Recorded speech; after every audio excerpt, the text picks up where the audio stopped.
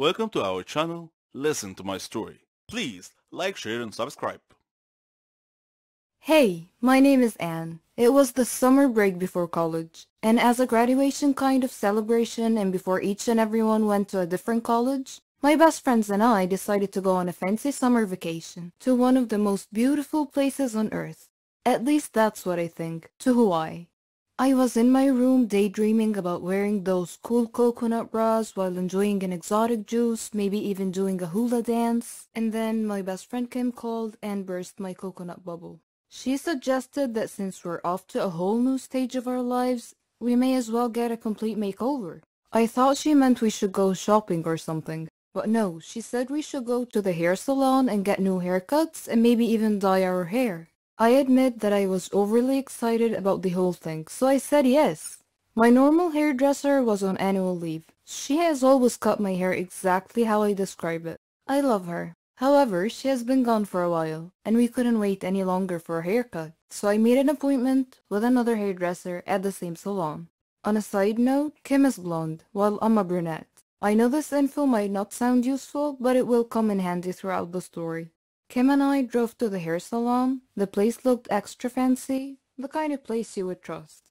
We went inside all giggly like we were 12. We were actually 18 at the time. Anyways, we were greeted by a really nice lady. That lady said that Kim should get highlights and I should go for the same, plus going blonde. I was skeptic, but who cares? It's summertime. The lady put bleach all over my head and went to do Kim's hair. So, after 15 minutes, my scalp started burning like crazy. So I called the nice lady and she said it was time to wash the bleach. As she was washing my head, her smiley face went poker. Chunks of my now orange hair were all over the sink. Kim looked at me and her eyes got as big as my head. The lady asked me not to freak out and that she could cover the bald spots with a really short haircut. The lady asked me not to freak out and that she could cover the bald spots and so she started cutting my hair. So far, so good. Then she snips a huge section out of the front of my hair saying that she was framing my face. At this point, it was too late to say anything. The haircut was just hideous. Not me at all, and especially not what I asked for. So I told her that I hated it. She felt really bad and I started to tear up because it was seriously so ugly. And now that I was stuck with a really bad haircut, I tried to calm myself that maybe the color will turn out okay. And then she put the dye on my hair and it turned my hair green. The only solution now was to become a redhead. And that was just a no for me. I don't have the complexion of a redhead. Our boyfriends were actually going to pick us up from the salon, and just imagining the look on Nick's face made me cry and laugh at the same time. Rachel played it really cool, and even her highlights did not go so well. But that incident was just one of a kind.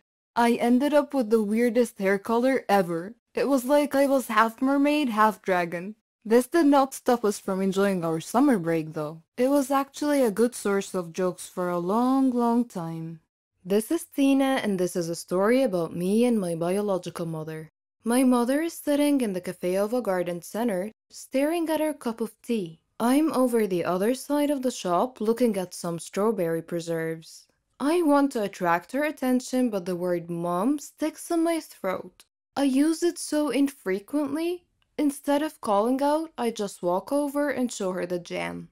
Ever since I left home 15 years ago, the relationship between my mother and me has worsened. In hindsight, it was never very good to start with, but it's taken 15 years of counseling and soul searching to realize that. The fact of it is that my mother and I don't like each other much. We don't hate each other, we're just sort of indifferent. There, I've said it, indifferent.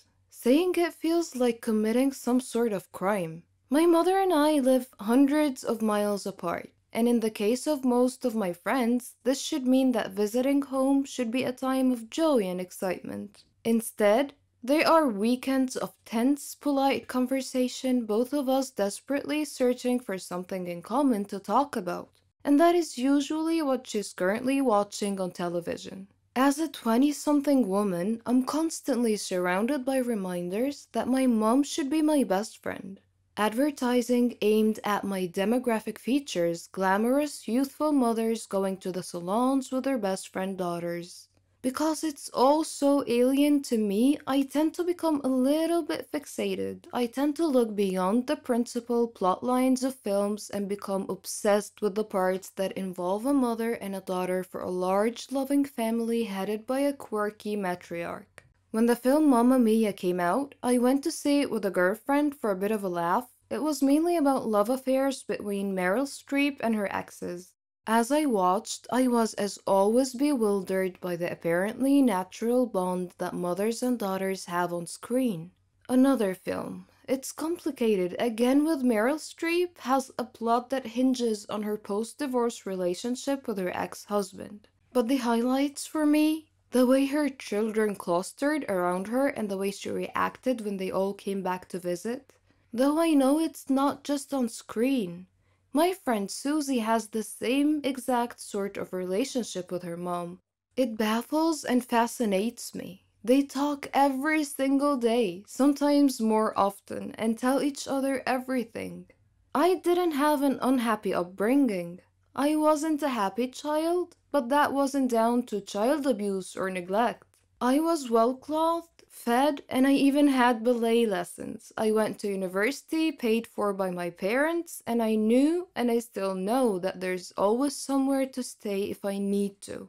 But my mother and I never had the sort of closeness I saw in my friends' relationships. They would go shopping or share secrets. They would tell their moms things about their lives. The one time I tried to ask my mother about her teenage years, she told me to mind my own business. And so I did. I grew up minding my own business and she minded hers. I left home as soon as possible and met my now husband at university, and he quickly stepped into the role of best friend and emotional support giver.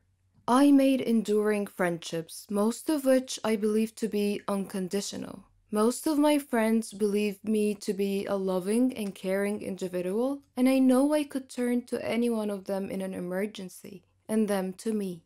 Yet I cannot remember the last time my mother and I hugged, even though I hug my friends all the time, and the very thought of it makes me cringe. My mother is the last person I go to in a crisis. She is certainly the last person to whom I would tell a secret or a problem.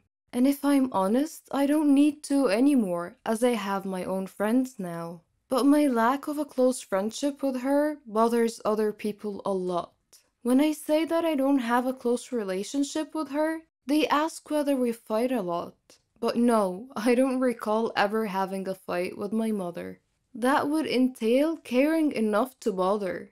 I used to go through phases of worrying about it and trying to repair the damage, but all the while I was aware that I was doing it for other people. I visit infrequently, but I visit. I do it not so I can see her, but if I'm honest, so her neighbors and family can see me visiting. A few years ago, before I realized I didn't care anymore, I called her up and asked whether we could sort it out. Her answer told me everything I needed to know. Sort what out? I stopped bothering from that moment on. Now my principal concern is explaining to people why I don't see her that often. And I feel guilty for not really having a good enough reason. My parents weren't divorced, my father died a few years ago. There has been no huge family dispute, there's no big skeleton in anyone's cupboard, well not mine anyway. I recently went to see a nurse for a routine appointment, and she asked a host of questions about my mother. Eventually, I had to confess that I didn't know half the answers. She asked whether I could find out. My heart sank as I imagined having to give away a detail of my life, such as why I was going to the nurse to my own mother. Mother's Day is a nightmare. Trying to find a card that doesn't say my mother is my best friend or the best mother in the world or my heroine is not easy, let me tell you. Others try to fix it for me. Why don't you book a spa weekend for your mom? The very thought of my mother agreeing to or enjoying something like that is just laughable. Or they ask, why don't you go for counseling? This would be all well and good if she would ever condone the idea, but it implies a relationship that needs to be mended. Why does it need to be fixed at all? Were my mother a woman I had met on a train and chatted to for half an hour, she would be one of the last people in the world I would want to talk to for a further half hour. If she wasn't my mother, she would be someone I groaned about having to spend any time with. I simply grew up and discovered that I didn't like my mother as a human being. She's not like me. She's self obsessed, not interested in others, thoughtless, and incapable of genuine warmth. She has no concept of giving love to receive love, and has never asked me a single meaningful question about my life or career. Some people might feel that I have a duty as a daughter to be there for my mother, that it's down to me to repair our relationship. But because of the way she's raised me, I don't feel there is a relationship to repair. I wish my mother no harm, and if she were in trouble, I would help her like a shot. But I would also be there for any of my neighbors and the old man who swears at people from the bus stop across the road. I don't believe in ghosts, evil spirits, haunted houses, metaphysics, etc. I only believe in science and facts. But sometimes things happen that shred all your beliefs. I want to introduce myself. I'm Lisa. I'm 14 years old. I live with my mom, dad, and grandmother, and they're all very proud of me. I'm the leader of the science club at school, and I've been the perfect student for the past two years. My hobbies are reading, watching educational videos, and learning. I like to discuss matters with rational people, not those who believe in myths, aliens, ghosts, and other such nonsense. I personally think these people have mental issues. One morning, my grandmother passed away. I was sad for a long time because I missed her so much. On the day of her funeral, the whole city must have come to say goodbye. While the priests were praying, I noticed something peculiar about one of the graves in the graveyard. After the prayer ended, I approached the grave in question to investigate. There was some weird writing on it. Then, a wispy, transparent, smoky figure appeared out of nowhere. It said to me, do not get closer to Donna Median's grave. Beware. I shivered slightly and asked the apparition who Donna was, and it replied, Who was she? She was an evil witch who liked to scare people. She was burned at the stake as a witch, but before her death she swore a curse that if anyone ever approached her grave, her ghost would haunt that person to the day they die. I did not laugh at the apparition's warning. Instead, I turned and returned home, thinking about what had happened. On a sudden defiant impulse, I decided to visit that grave, that night, to see for myself if the curse was real. I took my dad's flashlight and wore a raincoat. It was pitch black outside. The place was horribly unsettling at night, but I wasn't worried at all. It's not like it was real, right? I entered the gate to the sound of howling dogs and meowing cats. My blood ran cold, and a sudden chill ran through me. I turned on the flashlight and began searching for the grave. My hands were trembling so badly I dropped the flashlight several times. Sometimes I would step on something crunchy, and I would shine the light downward, only to see that I had stepped on an insect. Sometimes I'd see a cat here and there.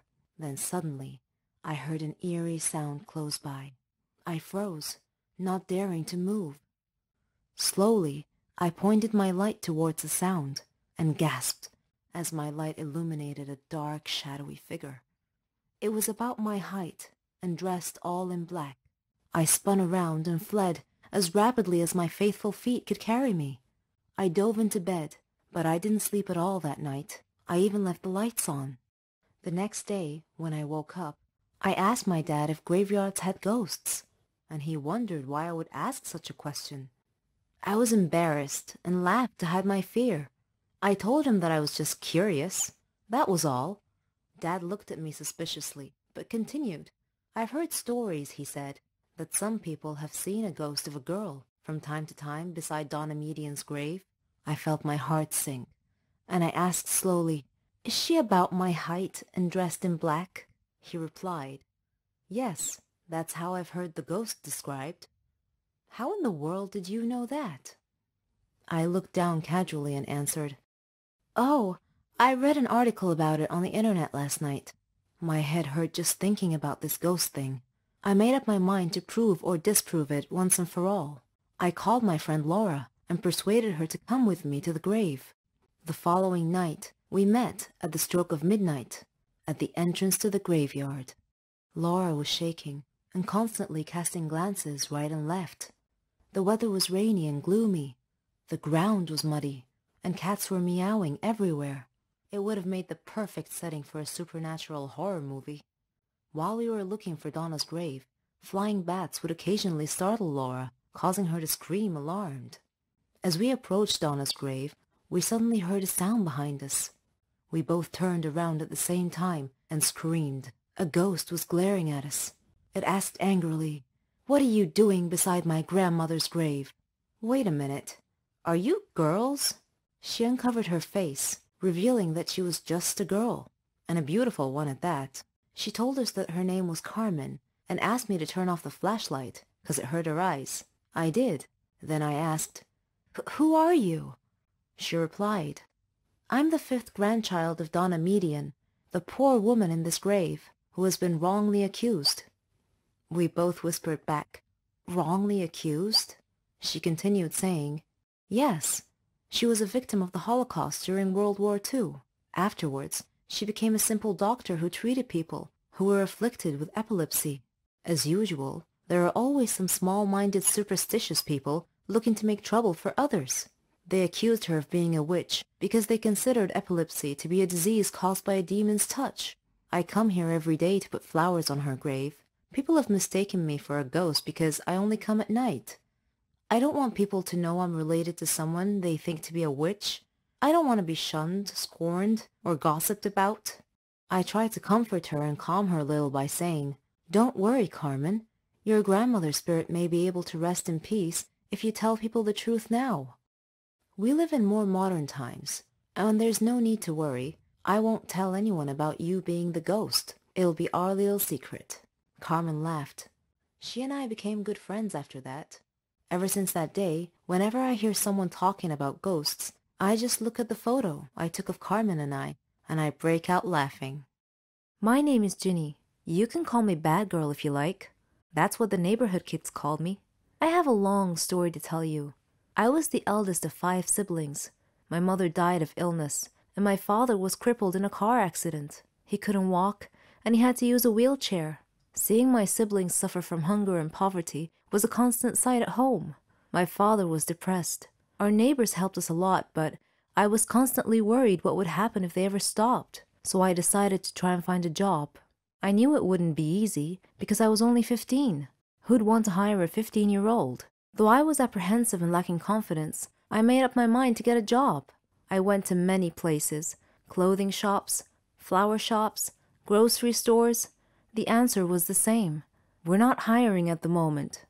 One day, feeling down, I was walking aimlessly with no destination in mind, when suddenly I found myself near a hospital. On an impulse, I entered.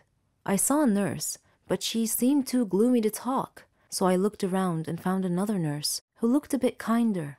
She noticed me and asked if I needed any help. I told her that I was looking for a job. Any job. I'd even mop and clean. She felt sympathy for me and told me not to worry. Then she went into the manager's office. I was worried. Was I in trouble? A minute later, she called me in to meet the manager. He seemed very kind, and he quietly asked for my name. I told him it was Ginny. He told me that Martha, the kind nurse who was helping me, told him that I was looking for any job available. He said he had a job for me, but he was concerned that it might be a problem. I felt a pang of fear and asked what the problem was. He said that I would have to work night shifts. That was it. I felt so relieved. I immediately agreed, and he said that he liked my enthusiasm and that I could start tomorrow. I was so happy. I returned home quickly hugged my siblings, and kissed my father's hands. I told them everything about my new job. My father looked at me sadly and said that I was too young to have to bear this responsibility. I told him that it was okay and that I could deal with it. When I went to work at the hospital every night, there was a gang of young kids who were always loitering around the neighborhood. I hoped they wouldn't bother me, but my hopes were in vain. They made fun of me every time I passed them. I never told my family about this, though. I began work as a cleaning lady, but due to my diligence and intelligence, I was able to learn a little bit about nursing. So, I was able to get promoted, first to nursing assistant, then to a nurse. My colleagues supported me a lot. Everything was almost perfect, except for the neighborhood gang that was always bothering me and calling me Ginny the bad girl. I wished they would just go away and leave me alone. Then, one day, a miracle happened. While I was working at the hospital, the neighborhood bullies came in, carrying their leader. He was badly injured. His whole body was covered in blood. They were shouting for someone to help them, and when they saw me, they pleaded with me to save him. I worked quickly with the other staff. His condition was serious. He had been in a terrible motorcycle accident. The staff and I worked feverishly to stabilize his condition and treat him. After stabilizing him, I was exhausted. Suddenly, I felt someone coming close. It was the gang. They apologized for making fun of me and asked me to forgive them. They said they didn't know that I worked at a hospital. I smiled and told them it was okay and that I considered them to be my brothers and sisters. Another nurse went to them and told them that their friend was okay now. I was so happy that my problem was solved. They called me over to talk to their leader. He had tears in his eyes and told me that he was so sorry and asked me to forgive him. He was so sincere that I was moved. I gently asked him to be quiet and get some rest. As I was walking away, he called me and thanked me again. After that incident, the manager called me in and praised me for saving the patient's life that day. I was still a long way from achieving my dreams, but I had a good head start, and the neighborhood gang began calling me the Mercy Angel. I adore my family. I adore our get togethers, our joking around, our meals, everything. I can't imagine my life without them. But one day, I almost killed them all. No, I'm not insane, I assure you, so don't worry. I'll tell you what happened. My name is Ginger. I'm 18 years old. As you can see, I'm wearing an apron. This is because I love to cook. I like all things kitchen related. My happiest moments are when I see my family eating a meal together. I always cook for them. They enjoy it too, and they support me. They let me try different dishes from different countries. I like to listen to their opinions about my cooking skills. I'm also addicted to cooking programs. One day, my cousin Charlotte came to visit before Thanksgiving Day. She likes to dress all in black, and today was no exception. For some reason, she had called me earlier and asked me if I had ever heard of Thanksgiving's Day curse. I said no, of course, so she told me that the curse applied to large families who ate a big meal together on Thanksgiving. The curse was the result of an evil spirit named Vicky, who would possess the cook's body in some family's household and poison the whole family. She said that Vicky used to be a housewife who was a great cook and who loved her family, and yet she poisoned them all during Thanksgiving meal. She watched them die one by one, and then she killed herself as the grand finale. At first, I thought Charlotte was joking and trying to scare me, and I told her that it was nonsense, just an old wife's tale. But she said that every legend was usually based on facts. I paused for a second.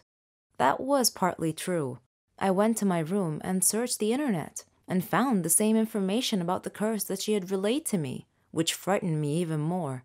Vicky was just like me, or was it the opposite? I stopped myself from getting deeper into this. I needed to focus on preparing the meal. On Thanksgiving's Day, my father bought some groceries, which included a white bottle of liquid. I presumed it to be milk, though it smelled a little weird. But I thought it was my imagination. My aunt called and said she would be arriving a few minutes later, so I had to hurry and finish the meal quickly. My finishing touch was dessert. It was going to be pumpkin candy. I prepared it using the milk that Dad bought. After everyone had arrived, I served dinner. We all sat down and prayed before the meal. Then everyone started eating. Things were going well. Everyone was chatting merrily and complimenting me on the food. I was overjoyed, but somehow I couldn't shake this feeling that something was wrong. I looked at Charlotte, but she smiled supportively. Suddenly, one by one, the people around the table started clutching their stomachs and groaning in pain. The last thing I remember before I lost consciousness was my brother calling the ambulance. When I woke up later, I was lying in a hospital bed alongside all my family members, who were also lying in the hospital bed. The doctor came in and reported happily that we would all be fine. Then he looked at me and winked. He also said, Next time, young lady, I suggest not using white paint in your cooking. And that was how I almost killed my loving family. I confess that I love money and fame. People envy me for it, or they did. I've been a prima donna since the day I was born. All girls dreamt of being me. My father helped my brother and I achieve all our dreams. But there was one fly in the ointment, and this is my story. My name is Amelia. I'm 17 years old. My father is a businessman. My mother came from a rich family, so we were quite wealthy, rolling in dough, one might say. My brother Arthur was handsome, older than me. He went to flight school. We lived a good life without a care in the world. We had everything cell phones, clothes, cars, servants, opportunities to travel the globe. We wanted for nothing. The most important thing was our happiness. And so my story starts at the villa where I lived with my family. My father employed many servants to attend to our every need. Martha was our head servant. She was in her forties, funny, smart. Arthur and I loved her. Oddly, we didn't view her as a servant because she took such good care of us. Mother didn't seem to like her for some reason and was always mistreating her. Father, however, adored Martha. Once I left my iPod in the garden and I was going to get it.